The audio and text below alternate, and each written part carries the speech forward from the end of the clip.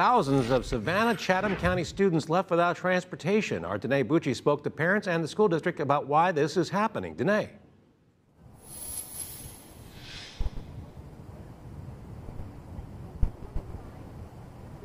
Dale, well, the bottom line is it's not guaranteed that students will be able to get on the school bus next school year. Now, we, the district says they're going to offer a priority-based transportation model. If your student goes to a choice school, is a K-8 student, or is a part of alternative education, the county will be unable to provide them any tra transportation. It seemed like they had a whole lot of time to figure this out. You know, this didn't happen overnight. You know, I, I, feel like the opportunities suddenly are not going to be available to students that have working parents, um, students who don't have any way to get there, um, which obviously limits, uh, you know, the population pretty drastically.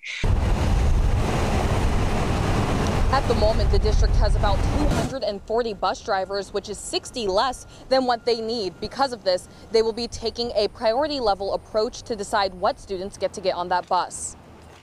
We have done some analysis and determined our capacity levels, both with our driver numbers as well as our fleet, to be able to determine that we can transport at this time priority levels one, two, and three.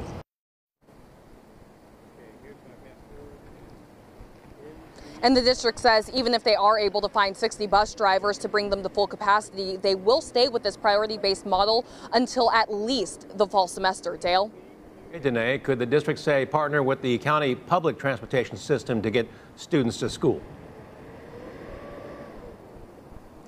Well, Dale, I asked the school officials if that's a possibility, and they said they have thought about that, and they've even reached out to the Chatham County public uh, public transportation system, but they say they're also having a bus driver shortage, so that's not even a possibility at this time. Dale? Okay, I understand it takes four to six weeks to train bus drivers, so it's a problem that will last a while.